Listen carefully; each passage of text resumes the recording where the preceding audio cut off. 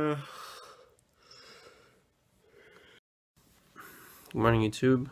It is 5.50 on this Thursday. Um, today's topic is uh, plastic roads. Way too early.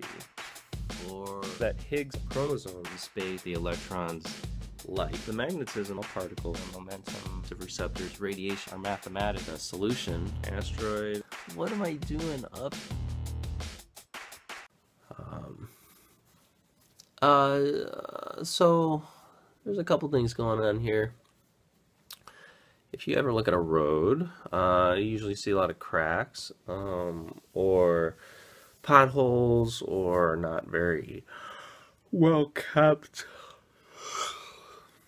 um, things.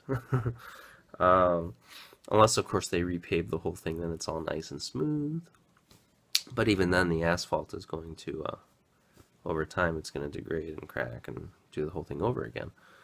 Uh, so this company in Netherlands, they they want to find a better way, um, and they think they think they got it. This is an idea. This hasn't really been uh, tested out yet at all. Uh, well, I guess, no, I don't think they've done anything, actually. I think this is just an idea. Um, they want to make roads out of plastic instead of using asphalt. Uh, and this is um, uh, the reasons why they want to do this. Um, if they, they think that if they have a plastic road, excuse me, it'll last three times longer than asphalt. Um, uh, they're not entirely sure about the cost, and there's going to be a lot of developmental costs at first too. But um, they think that once the road is made, uh, it'll last about three times longer. Um, they think that they can make plastic roads in sections, and so you can sort of like um, Lego them together section by section. Uh, and then if there's a certain part that breaks, you just pull that off and put another section down. Um, the plastic roads are sort of these, if you take a look at the picture, they're, they're these, um, uh, it's not just a flat layer, but um, a whole hollow section, like think of a rectangular piece and through here there's a hollow section for piping and for uh, wiring um, conduit that could go through.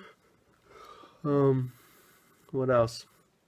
So again, they think that um, they think it'll last longer. They think the fabrication of it will be cheaper uh, over the long run. They think that uh, the fabrication also have a lower carbon footprint than asphalt. Uh, so all these things, all these ideas, uh, they they want to utilize and they think they can utilize nothing but recycled plastic. And so one of their intentions is to keep plastic out of the ocean.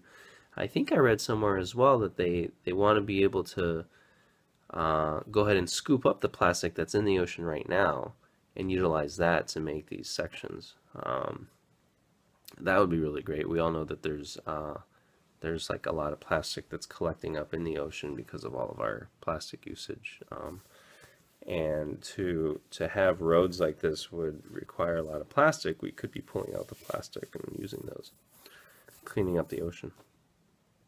So again it's just an idea. Uh, they're they're moving forward with this. Um, they're I think they're they're planning on creating sort of a